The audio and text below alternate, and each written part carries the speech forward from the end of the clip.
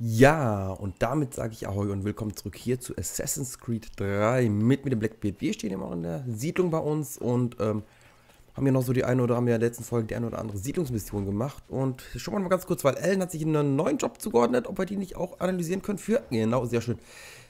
Zwei von drei Einträge für die Schneiderin in der Enzyklopädie des einfachen Mannes.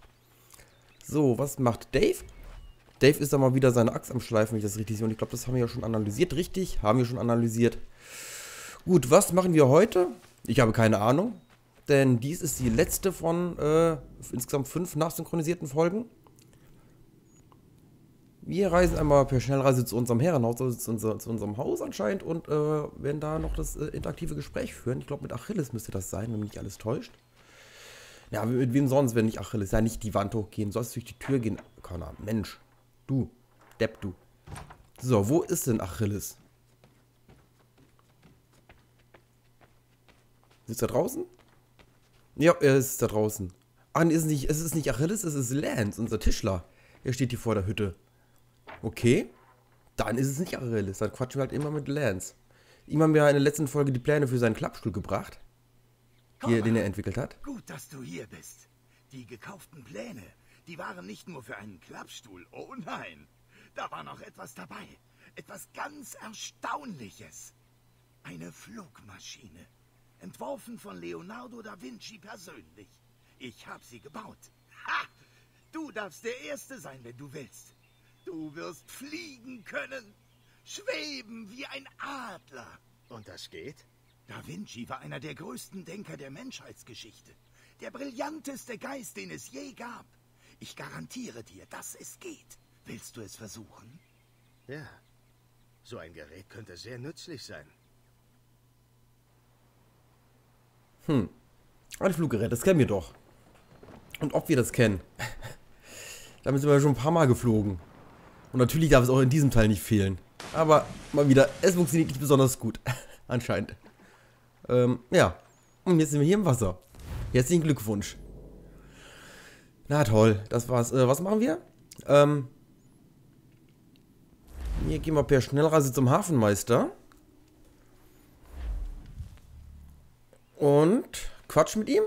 Wo fahren wir hin? Was machen wir? Machen wir maritime Mission oder setzen wir mit der Story-Mission weiter? Fahren wir mit der Story-Mission fort? Wir werden schauen, wir werden sehen. Ähm, ich würde sagen, starten wir das Geisterschiff, Schatzjagd. Die Octavius finden und Captain Kids Schatzkarte in Besitz nehmen. Jo, die starten wir, alles klar. Dann gehen wir heute nochmal auf Schatzsuche. Yay. Nordwestpassage 1776. Ich hoffe, Faulkner hat recht. Wie jemand an die Nordwestpassage glauben kann, ist mir ein Rätsel.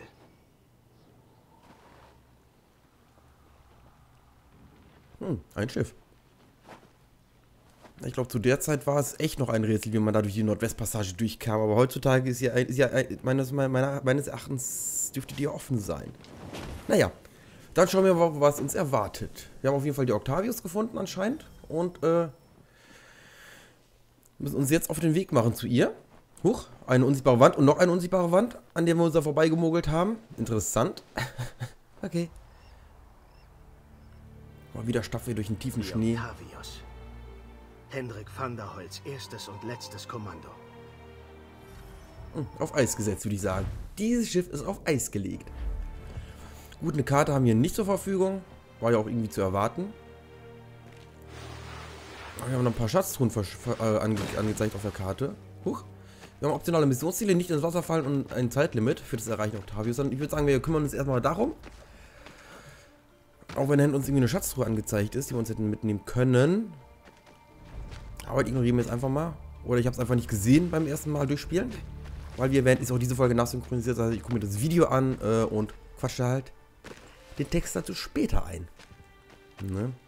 So, wir haben jetzt noch 20 Sekunden für die Octavius zu erreichen. Und sind bisher noch nicht ins Wasser gefallen. Punkt 1 erreicht. Sehr schön.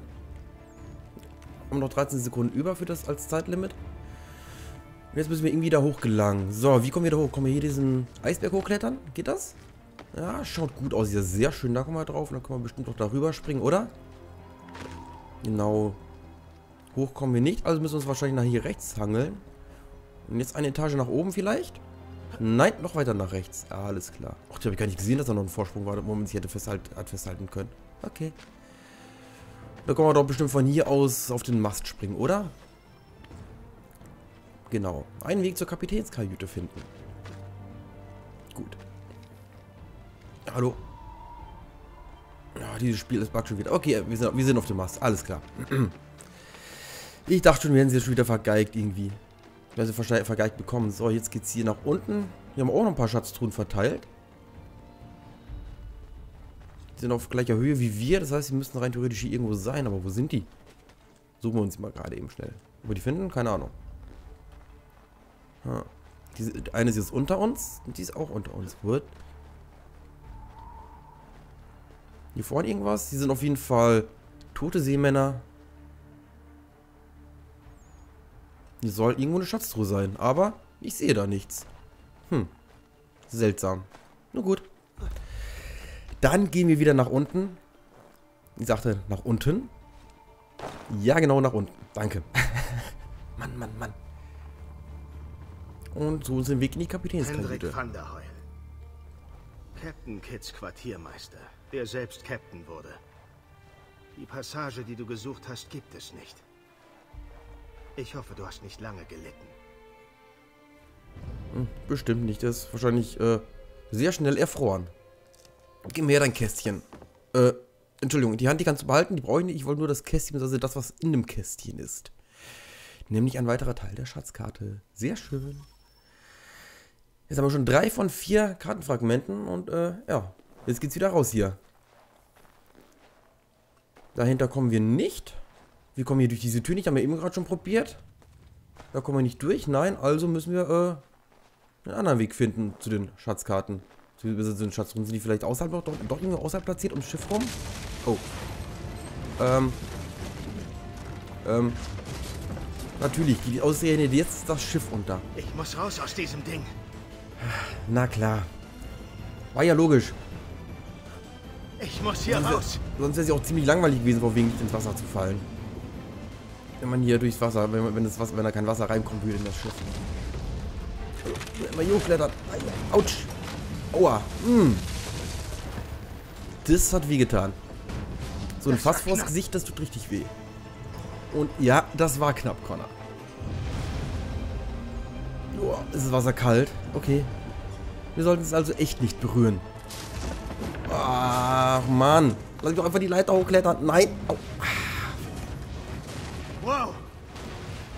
Wir haben noch 50 Sekunden. Jetzt, jetzt aber schnell. Äh, da kommen wir nicht hoch. Nein, da kommen wir nicht hoch. Also müssen wir wahrscheinlich hier rüber. Au, Igitt. Kaltes Wasser, eiskaltes Wasser. Nicht gut. Ich darf mich hier nicht fangen lassen. Ja, das habe ich auch nicht vor. So hier in den Ring entlang. Und nochmal in den Fässern hochklettern. Nicht runterfallen, du sollst nach hinten wegspringen. Genau da sollst du hinspringen, alles klar. Kommen wir hier hoch? Jawohl, hier kommen wir hoch. Ähm, hier rechts hin, oder? Ja. So, und nun ins Wasser gefallen und äh, wir kommen hier nicht mehr raus. What the? Ich glaube, wir... Wir synchronisiert? Jawohl, wir sind desynchronisiert. Ich habe den Weg nicht gesehen. Ich habe den Weg einfach nicht gesehen. Na gut. Schauen wir ein weiteres Mal. Immer noch das optionale Missionsziel, nicht ins Wasser fallen. Ich darf mich hier nicht fangen lassen. Ja, wie gesagt, das haben wir auch nicht vor. So, hier hochklettern. Zack, zack, zack, zack, zack. Nach hinten wegspringen. Komm, hopp. Alles klar. Jetzt nochmal da hochklettern. Und jetzt nach rechts rüber. Wieder auf diesen Balken da drauf klettern. Komm hoch. Ich habe nicht viel Und, Zeit. äh, ja, wir müssen auch da dran springen, oder nicht? Hier vorne. Ja, aber da springt er nicht hin. What the? Sind ins, wir sind jetzt ins Wasser gefallen. Ähm, ach, einfach hier hochspringen. Okay, natürlich geht das dann. Klar. Anstatt dann direkt an diese Dings zu springen. Okay, da geht's nicht weiter. Jetzt sind wir hier im Wasser und wir sind wieder desynchronisiert. Ja, wir sind desynchronisiert. Sehr schön. Naja, oder auch nicht. Je nachdem, wie man es nimmt, ne? Ach, was ein Scheiß. Weil der Weg da einfach nicht eindeutig zu sehen ist. Also ich habe da echt Probleme, da irgendwie den Weg zu finden für. Hm. ich darf mich hier nicht fangen lassen. Also auf ein neues. Ups, und nochmal hier hoch. Ein bisschen was abgekriegt, aber das stört zum Glück weil das quasi dazu gehört zu, dem, zu der Mission. Das ist quasi beabsichtigt, dass man da vom Wasser getroffen wird. So. Wir rechts drauf. Gehen da hoch. Gehen rechts rum. Ach, können wir hier links lang klettern vielleicht? Ach, nee, schau mal einer. Guck, wir können hier links rum. Und dann können wir hier hochklettern. Alles klar. Und weiter. Go, go, go, go, go. Go, Connor, kletter. Sind noch ein paar Sekunden Zeit. Nur 10 Sekunden. Optionales Missionsziel äh, dann doch noch geschafft. Nicht ins Wasser gefallen. Sehr schön. Und wir tauchen aus dem Wasser auf. Hm, wie geht denn das? Wir sind nicht ins Wasser gefallen, aber tauchen aus dem Wasser auf. Hm, sie versinkt. des Felsens, der nicht passt. Hm. Da kommt auch unsere Akila. Sehr schön. Das Geisterschiff. Mission beendet. Voller Synchronisation. Sehr schön. Sehr schön, sehr schön, sehr schön. So, was machen wir als nächstes? Wenn wir hiermit durch sind. Mal schauen, mal schauen, mal schauen, mal schauen, mal schauen. Wir sind wieder zurück in der Davenport-Siedlung gelandet. Ähm, mal kurz in die DNA-Anzeige schauen. Nee, Mission Clubs, Boston, New Yorker, sammelbare Sinkebein Forts, Untergang, Entdeckung, maritime Mission. Äh, blablabla, die Rettung französischer Invention in Aquila. Nein, das waren die normalen. Das sind die Forts. Das sind Freibeuteaufträge, das heißt, die ähm, Dings freizuschalten, ähm, die, die Handelsrouten zu befreien. Die Force, das sind die Jagden, Auftragsattentate, haben wir noch ein paar zu erledigen. Liefaufträge natürlich. Hm, 66%, also wir haben zwei Drittel geschafft, das heißt ein Drittel fehlt uns aber ich habe keine Ahnung, wo wir die finden. Mal gucken, ob wir die noch unterwegs finden im Spiel oder ob ich die dann hinterher mache, keine Ahnung. Das werden wir dann sehen. So, Kids Briefe da. Die Kolumna beschaffen, bla bla bla. Almanache, New York, New York befreien. Ja, wechseln, wählen den Nachschub, wechselnde Methoden, bla bla bla. Gut, das sind, das, sind, das sind die ganzen Hauptmissionen. Okay. Hm. Das Geisterschiff. Hier haben wir sie doch, die Mission. Alles klar, wir wiederholen die Mission nochmal. Okay, wir wiederholen die Mission und sammeln uns dann jetzt wahrscheinlich die Schatztruhen ein. Wenn ich mich richtig erinnere. Genau aus dem Grund werde ich die Mission jetzt wohl wiederholen, um die Schatztruhen zu erhalten. Ich hoffe, Faulkner hat recht. Wie jemand an die Nordwestpassage glauben kann, ist mir ein Rätsel. Ja, ich würde es jetzt ganz gerne überspringen, diese kleine Intro-Sequenz. Weil ich meine, die kennen wir ja bereits. Aber die müssen wir uns nochmal angucken. Keine Chance zu überspringen. Na gut, streckt immer noch ein bisschen das Video. Dann wird es nicht zu kurz. Springen wir nochmal hier runter und dann auf geht's, die Schatztruhen sammeln. Nach Octavius suchen, ja. Die optionalen Missionsziele die ignorieren wir jetzt erstmal, weil wir haben, die haben wir ja so oder so geschafft. Gut, das war nicht das dritte quasi, dass man alle optionalen Missionsziele in einem Spieldurchgang schafft. Hendrik van der Holz, erstes und letztes Kommando. Aber das ist ja egal. Den Rest haben wir so. Jetzt gehen wir hier runter. Schwupps. Und direkt vor uns liegt die erste Truhe. Ach, das sind so kleine Kästchen einfach bloß. War da irgendwas drin? Ich habe nichts bekommen. Was? Soll, soll, sollte das echt eine Verarschung sein?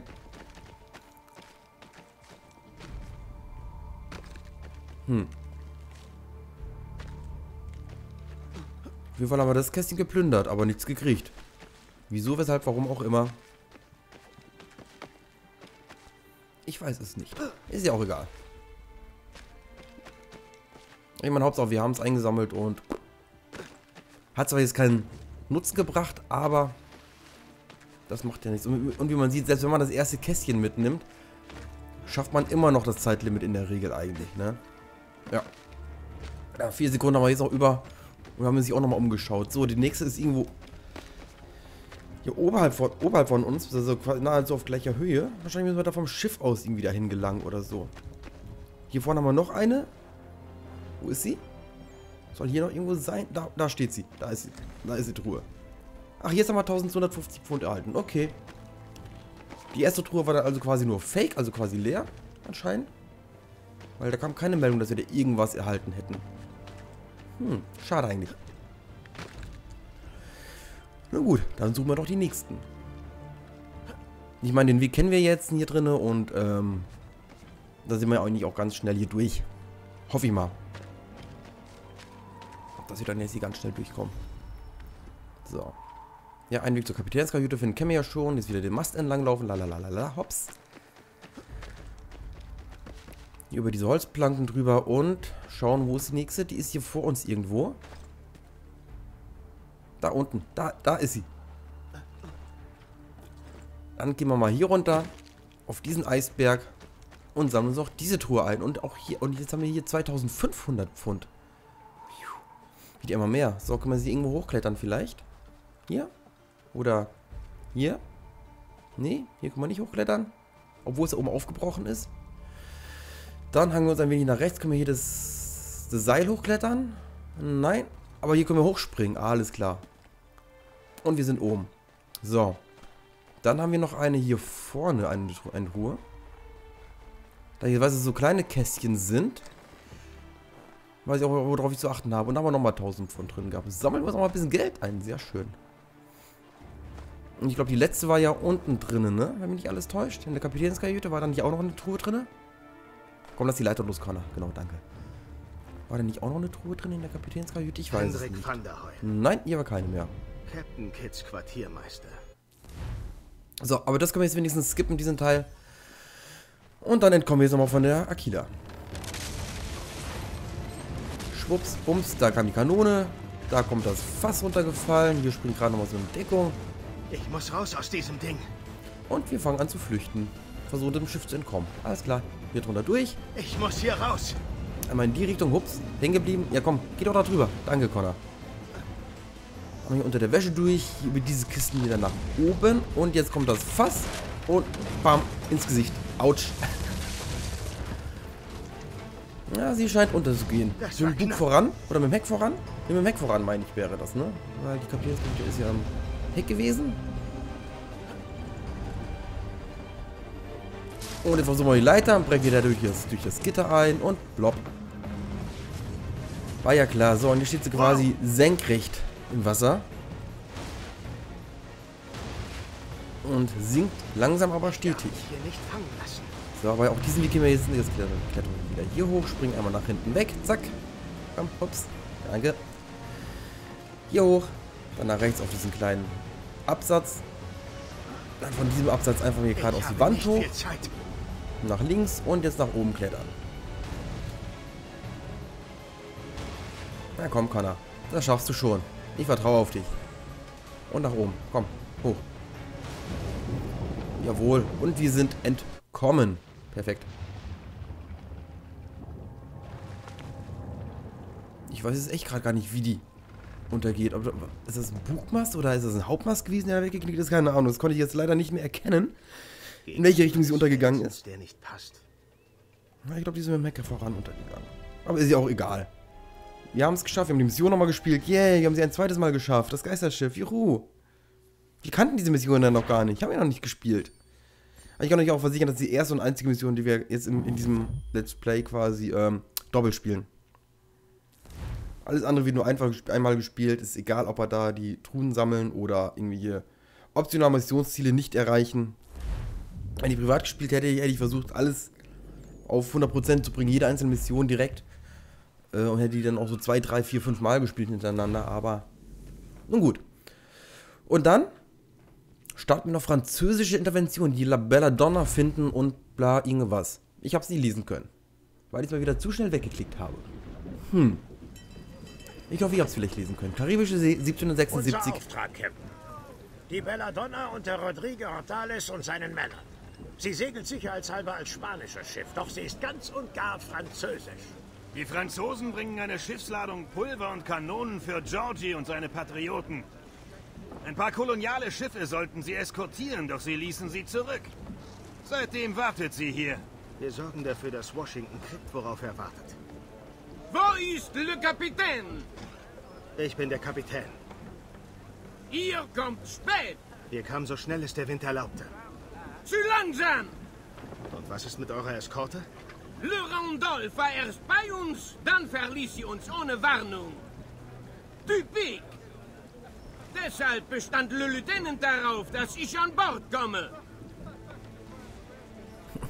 Franzosen. Le, Lime, le, le Lieutenant. Wir fahren erst, wenn wir bereit dazu sind. Ah, Der Atlantik ist gefährlich für ein einzelnes Schiff, besonders wenn es so wichtige Fracht geladen hat. Ihr müsst froh sein, dass wir hier sind. boah, es ist eisig. Mein Lieutenant freut sich nicht auf den kalten Norden. Ist der Mann noch ganz bei Trost? Halte die Augen offen, Mr. Faulkner. Wer nach der Belladonna sucht, kann in dem Nebel jederzeit hier auftauchen. Ei, Captain, ich habe ein flaues Gefühl bei der Sache. Na, nicht nur du. Ich auch. Dann begleiten wir mal die Belladonna, die äh, viel schneller ist als wir. Die Engländer kommen, Sir! Oh. Oh. Das ist die Macht von Frankreichs Marine. Mehr Gegner versenken als die La Belladonna. Wir Okay. Und Limit für Schaden irgendwas.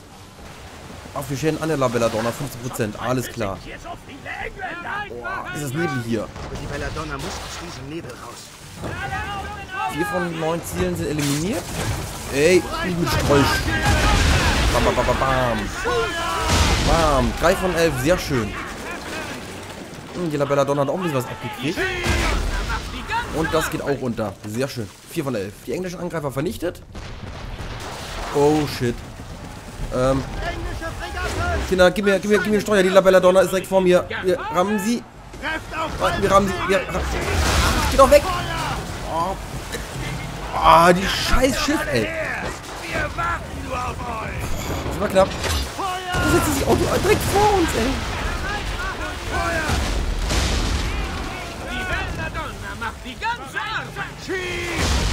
Ja, von wegen die Belladonna macht die ganze Arbeit. Oh shit, die schießen auf uns. Und runter. Nein, wir gehen nicht runter, wir feuern einfach. Na, nur auf das Schiff, sehr schön. Komm, Triebраsen. Zack, bam. 6 von 11 versenkt. Haben wir hinter, uns noch das große Schlachtschiff. Das holen wir jetzt auch noch. Warten, warten und Feuer frei. Direkt in den Bug. Die geht unter. Sehr schön. Oh, da kommen noch mehr. Okay. Aber wir brauchen nur noch drei Schiffe. Oh, Belladonna, pass auf. Fit. Sehr schön. Gehen wir hier auf die hier noch. 10 von 11. So, das Limit für Schäden haben wir schon erreicht. 11 von 11. Alles klar, beide optionale Missionsziele geschafft. Sehr schön.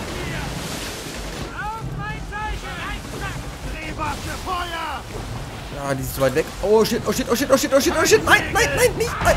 Ah, puh. Dieses blöde Schiff, ey. Dieses blöde Schiff. Fährt, direkt uns, fährt uns direkt vor den Bug. Mann. Ich brauche volle Segel! Und haben wir beide, beide geschafft, beide optionalen Missionsziele direkt in einem.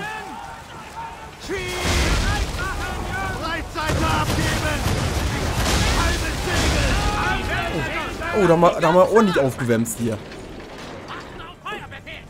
Ich glaube, das hätten wir ja als alleine schon geschafft, oder? Wo ist es? Da ist es. Feuer!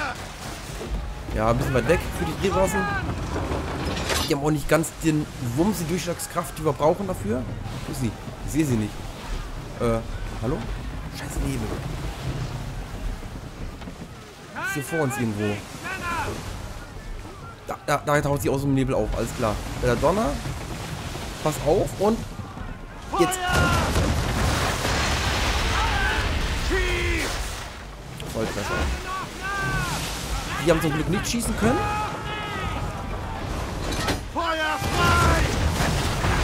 Die haben nicht getroffen, aber wir haben sie versenkt. Sehr gut. Wir warten nur auf 7 von 11 geschafft.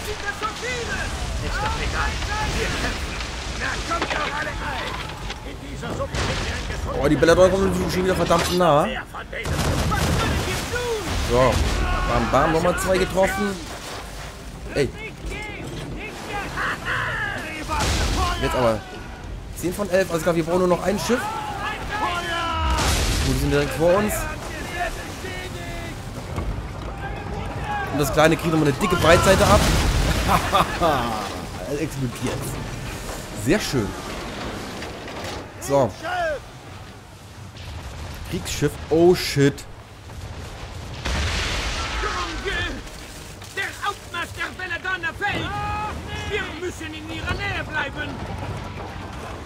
Oh shit. Ein Kriegsschiff. Na gut. Oh. Sehr angesessen, der Treffer von denen. Okay, wir müssen Kettengeschosse anziehen. Okay.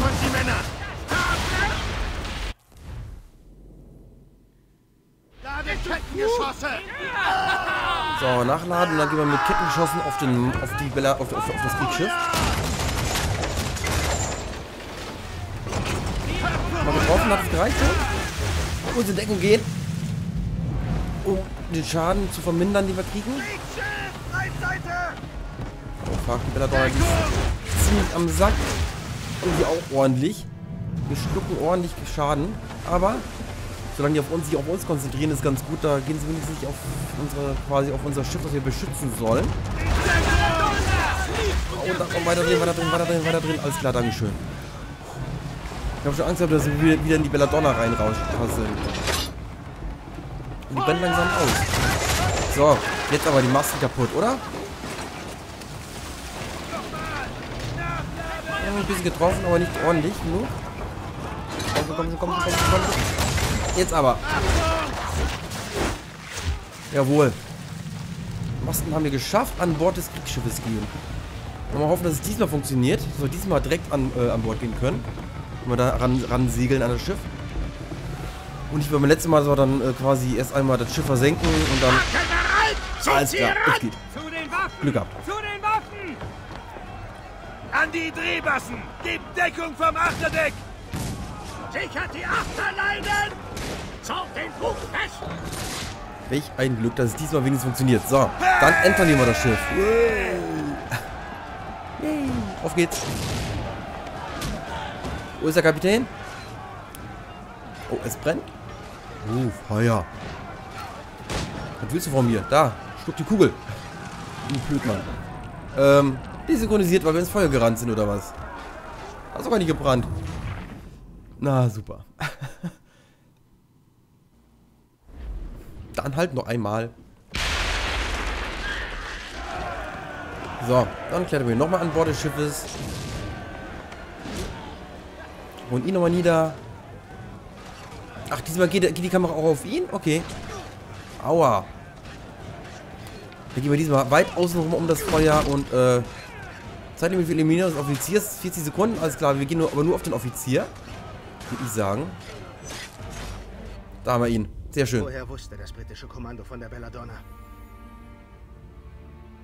Das britische Kommando weiß nichts davon. Warum seid ihr dann hier? Ein Patriot führte uns her. Nicholas Biddle. Für wen arbeitet Biddle?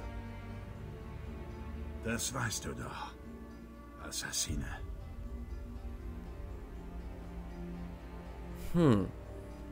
Nicholas Biddle, ein Templer in Reihen der Patrioten, hat uns also verraten.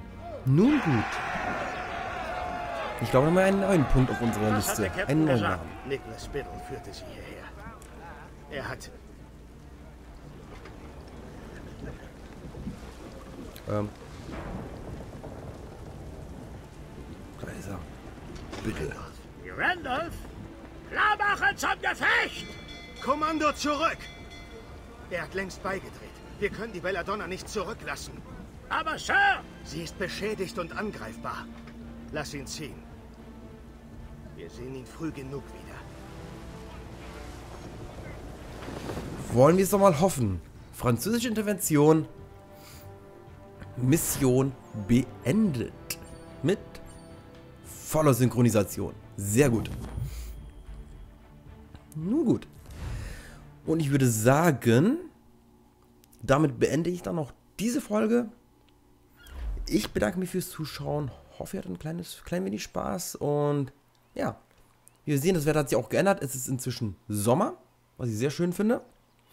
Und ja, in der nächsten Folge sehen wir uns dann wieder. Bleibt mir also treu, ich sage bis dahin. Gehabt euch wohl und macht's gut. Ciao, euer Blackbeard.